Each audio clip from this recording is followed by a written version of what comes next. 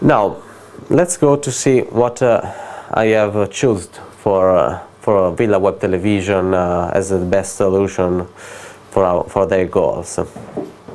Then for video download, uh, I think that uh, they could make use of the broadcast machine. They could create easily a podcast ch channel maybe also uploading some torrentcast videos uh, and uh, with this solution they won't suffer if there will be many many clients connected at the same time as happened uh, last days. Uh, I've heard that you had uh, some problems with the connection because after the presentation many people connected uh, to your website and the system maybe crashed. If you would have made if you would have used a torrentcast solution you won't have experimented such problems.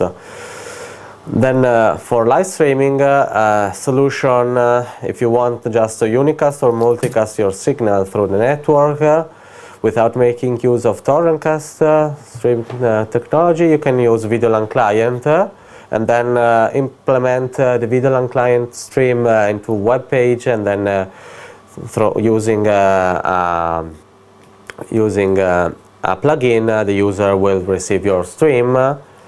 or otherwise, if you want uh, to create a torrentcast live stream, uh, and then um, you be sure to not to suffer anymore the problem of many clients connected through your server at the same time, uh, you would have to make use of VideoLAN client uh, combined to SopCast. This means that you use VideoLAN client to stream the signal from your webcam to your SopCast server and then use the SopCast server to stream the signal through the network. Uh,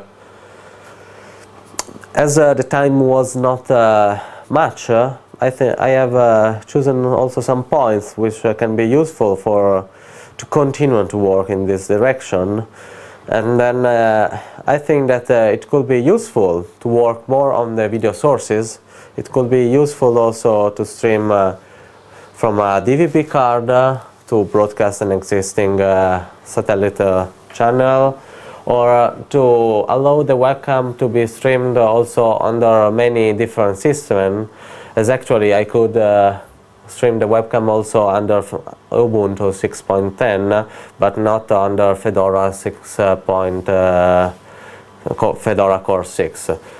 Then uh, uh, free software. We have to work more on free software as, uh, I, as I have seen there are some interesting solutions but actually they can are not useful for a company such as the yours because the user uh, cannot easily use these uh, products. so we have uh, to work more on usability which is the final goal of every product that has to be delivered from a television company we have uh, to work on the interface and also on the install options uh, as uh, we need to create very very user-friendly programs. Then uh, to conclude my presentation I have uh, I would like uh, to explain how the future is of television is not in the actual television system it is not on in the digital television but it is through the internet. As uh, the content uh, will be always available in prime time uh, it will be every time uh, because all the contents will be always available. And so the content provider will have to be sure to deliver good uh, medias uh, to that each product that they deliver is good. And the as a delivery method for the future I'm sure that it will be used peer-to-peer -peer delivery method as uh, it uh, can uh, it can it is good to not to suffer problems of too many clients connected at the same time. And then uh, always uh, the usability. It has to be easy to use uh, and easy to learn a program. Then thank you for attention